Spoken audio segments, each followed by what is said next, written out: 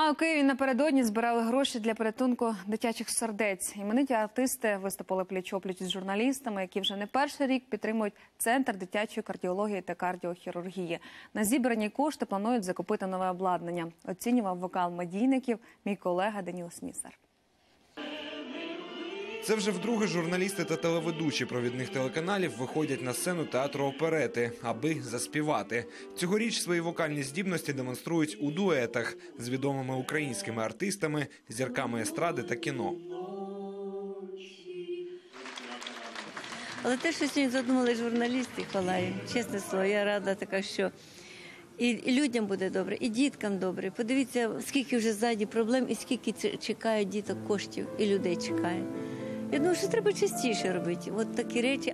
Більшість учасників концерту не професійні виконавці, тож на сцену виходять з острахом. Але кажуть, думка про допомогу дітям додає неабиякого натхнення. И кто, как не мы, журналисты, должны об этом писать, говорить и вносить самую посильную, насколько это возможно, помощь, которая зависит от нас. Кошти, виручені від продажу квитків, підуть на переоснащення операційного кабінету центру дитячої кардіології та хірургії. буде направлений на обладнання, яке майже вмерло, буде поремонтовано. Це є е, такий блок операційний, де є ангіоустановка, і там є рентгенологічна трубка. Вона дуже коштовна. Вона вже працює без зупинки біля 12 років. Вона вичерпала свої можливості.